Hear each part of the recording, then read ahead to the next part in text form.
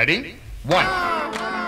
You will do this four times with the left, four with the right, then eight times with both,